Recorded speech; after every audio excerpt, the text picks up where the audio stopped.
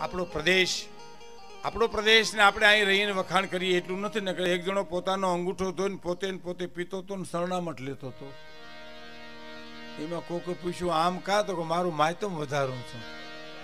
માયતમ એમ ન વધે, કોક અંગૂઠો ધોઈને પીએ તો વધે. એટલે આપણે સોરઠવાસીઓ છીએ, સોરઠમાં રહીએ છીએ.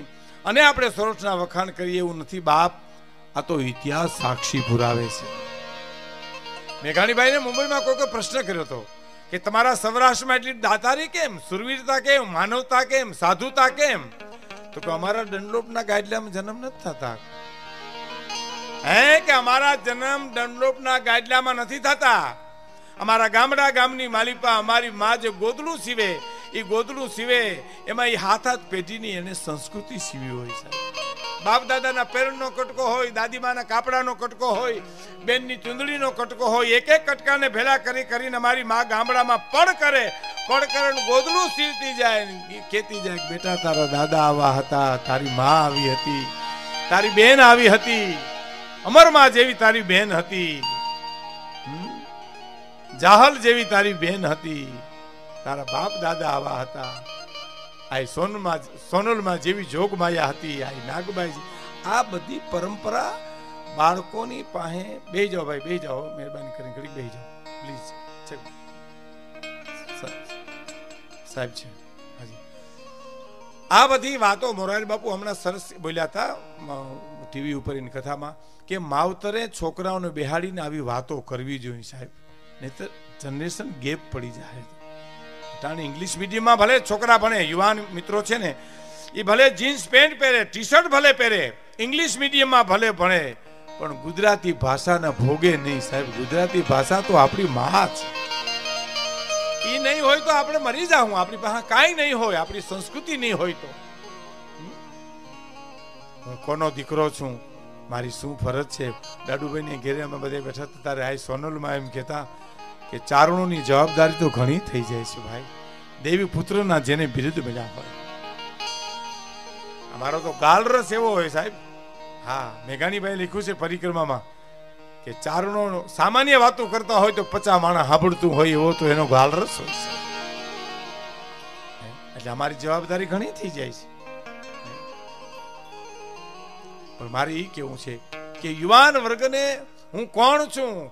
કયા પ્રદેશનો દીકરો છું? મારા માતા પિતા કોણ છે? મારા સદગુરુ કોણ છે? આની પોતાને ખબર હોવી જોઈએ. બાપ, મારાથી જેમ તેમ ક્યાંય બોલાય નહીં. એને એક પ્રસંગ કીધું, નાનો એવો તમને કીધું. સોનાને પિત્તળે એમ કીધું, તારામાં મને ભેળવી લે, તારો વજન વધી જાય. એક તો તું પીલું ને હું પીલું. કોઈને ખબર ન પડે. સોનું કે ઈ વાત તારી સાચી, પણ કેરેટ ઘટી જાય એનું શું? સંસ્કારના કેરેટ નો ઘટવા જોઈએ સાહેબ. ગમે એ પરિસ્થિતિમાં આપણે મુકાઈ અહીંયા હાકમ જેવા મહેમાનો બધા આજે આવ્યા છે. જેઠાભાઈ, આપણે મોરી, અમારા જયદીપના કુટુંબ થાય બધું. બધા હું એક એકનું નામ લેવા બેહું તો ઘણા મિત્રો આવ્યા છે. બાપ, હું તમને રાજી કરવાના બધા પ્રયત્ન કરીશ. પણ સંસ્કૃતિ જે આપણી જે છે એ અદ્ભુત છે. આપણી સંસ્કૃતિ શું છે ખબર? સંસ્કૃતિ એટલે આમ બહુ ઊંડાણમાં જવા જેવું છે. તમે કોકને સુખ વેચવા જાવ ને તો લેવું હોય તો લે ન કરો ના પાડી શકે સાહેબ. કે મારે નથી જોતું ભાઈ તમારું સુખ. મને આપણે કોકને લોટરીની ટિકિટ લાગી જાય ને આપણે એમ થાય કોકને હાલો પાંચ હજાર દઈ આવીએ તો ભલે. એ માણસ ના પાડી શકે કે ભાઈ મારે તમારા પાંચ હજાર રૂપિયા નથી જોતા. તમારી સુખ તમને મુબારક છે. અમને અમારી ગરીબાઈ અમને મુબારક છે. આ દેશમાં કહી શકે? સુખ વેચવા જાઓ. તો હામાવાળો લેવું હોય તો લે, નકર ન લે. પણ દુઃખ તો ઘીરે લેવા આવે.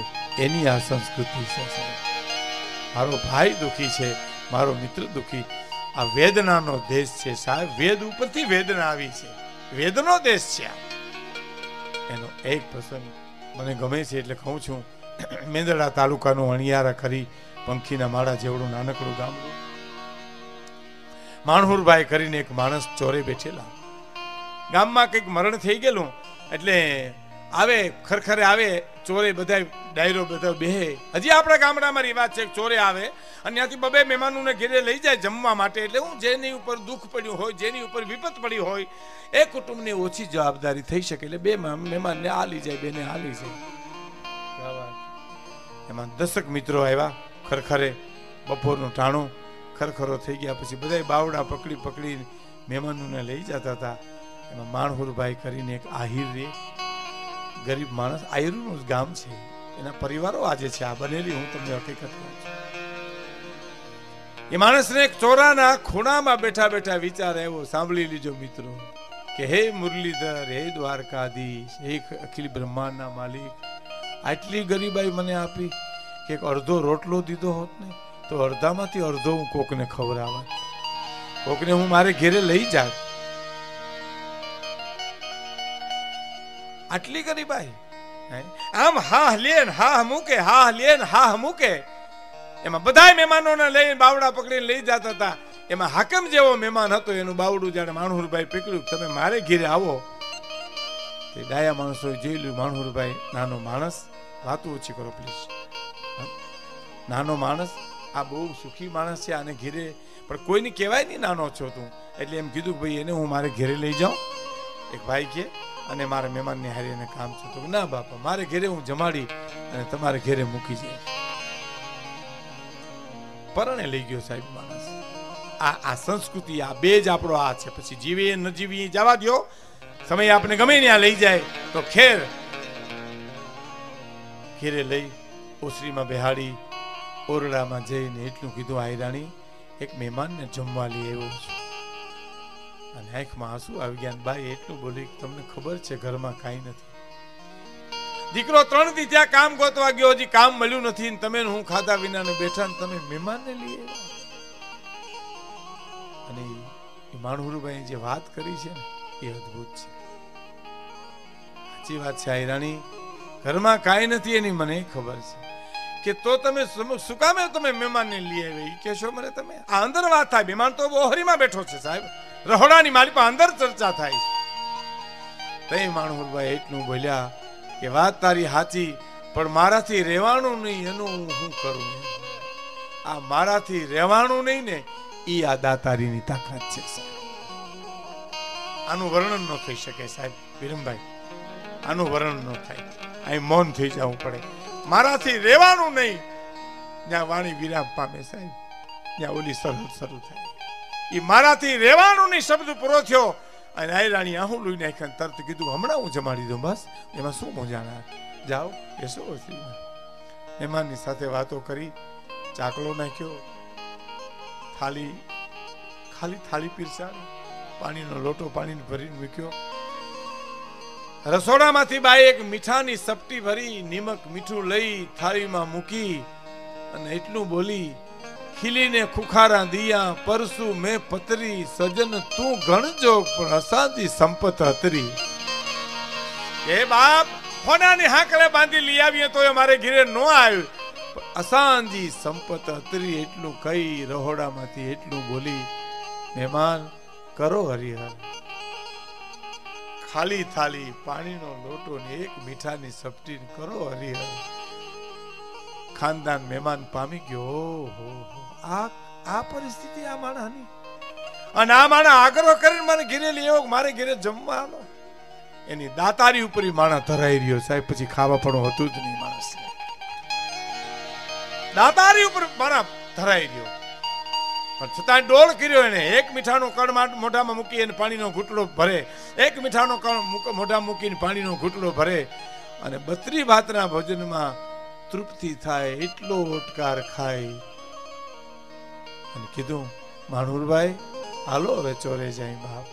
ડાયરો આવી ગયો છે. આવ્યા. ઘેરે ગયા જમવા ગયા હતા બધા આવી ગયા. આ બનેલી હકીકત. હાવ ડાયરાની વચ્ચે મહેમાન એમ કે છે કે, બાપા, મરણ મોટું છે, એટલે હારી વાત કરવી તો કરી શકાય. તો કે, હા, કરી શકાય. માણુરભાઈ, અહીંયા આવો પાસે બેહાડીને એટલું બોલ્યા હતા તમારા દીકરા કેટલા? કે દીકરો એક છે ભાઈ, કે જોયો નહીં ગીરે કે બહાર ગામ મોકલો તો? છે કે, હા હા હા. કેટલી ઉંમર છે? તો વીસ એકવીસ વર્ષની ઉંમર છે. એમ તો કે ડાયરો સાંભળો છો બધો? તો કે હા માણુરભાઈ તમારા દીકરાને મારી દીકરી પરણાવું છું. જાડી જાન લઈને મારે ઘેરે આવજો. તમારા દીકરાને મારી દીકરી પરણાવું છું. જાડી જાન જોડીને મારે ગામડે આવજો. એ માણસે નક્કી કર્યું આને ગરીબ સમજીને દાવ તો તો જિંદગીનો મારો ઋણી રહે ઈ.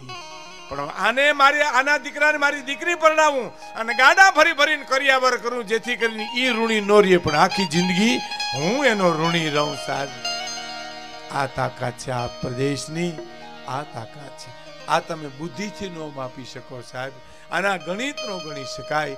આ તો ઉલટની વાત. ખીલીને ખુખારા દિયા. સબરીના બોરમાં શું હતું? મને કેશો અટાણે જે બોર હતા તે દી રામા અવતારમાં ઈ જ બોર હતા. પણ છળિયા હોતા રામને ખાવા પડ્યા હતા અને રામને એમ કેવું પડ્યું. શું કેવું પડ્યું તું? કે સબરી મીઠા લાગ્યા મીઠા લાગ્યા મોર, સબરી મને મીઠા લાગ્યા મોર.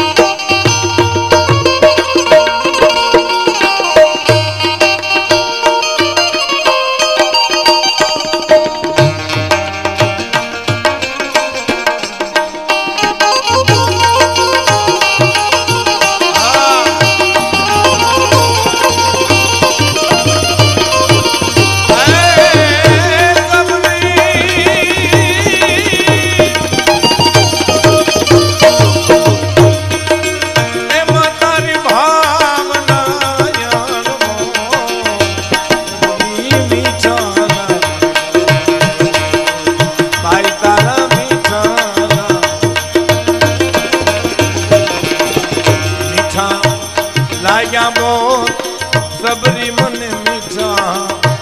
લાગ્યા મોર